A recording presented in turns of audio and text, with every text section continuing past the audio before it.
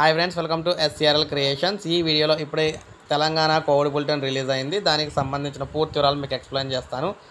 ఇక టాపిక్లోకి వెళ్ళిపోదాం మనం. కొత్తగా ఇరవై రెండు కోవిడ్ కేసులు.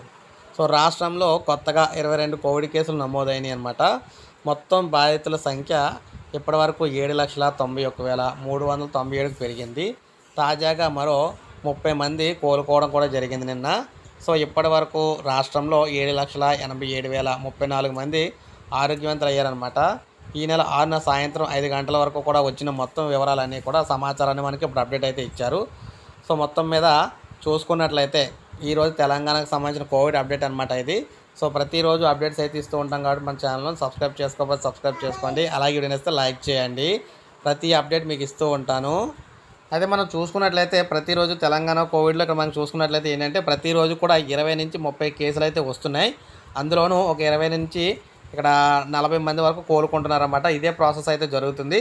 ఎందుకంటే కొత్త వేరియంట్ ప్రజెంట్ ముంబైలో అయితే రావడం జరిగింది. కొత్త వేరియంట్ కానీ పెరిగితే మరొకసారి కోవిడ్ కేసులు అయితే పెరుగుతాయన్నమాట. డైలీ అప్డేట్స్ అయితే ఇస్తూ ఉంటాను కాబట్టి మీరు మన ఛానల్ సబ్స్క్రైబ్ చేసుకోకపోతే సబ్స్క్రైబ్ చేసుకోండి.